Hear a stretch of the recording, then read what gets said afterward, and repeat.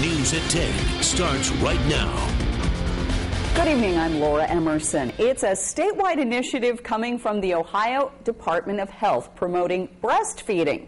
But some think that the ads can be a little distasteful. Our Sharia Davis is live with more about what some folks have to say about this. Yeah, you can see the billboards throughout Toledo that reads breast milk satisfies, but is it really having an effect on mothers?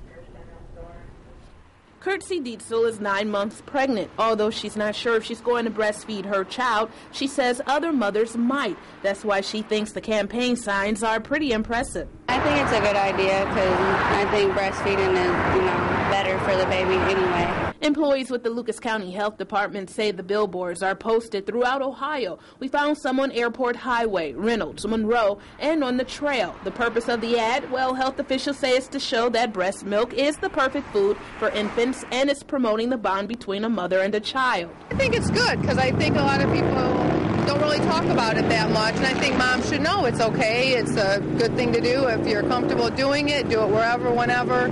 I think it's a great thing. But some may see the billboard as disturbing. Stephanie Swan says she thinks promoting breastfeeding is a good idea, but one of the ads she says is disgusting. When I first saw it, I thought the baby, you know, I saw it and I said, well, I agree with that. Breast milk is fine.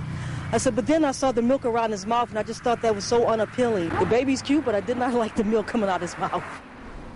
Now, health officials say the ads are only to encourage mothers to help their children grow. Reporting live, Sharia Davis.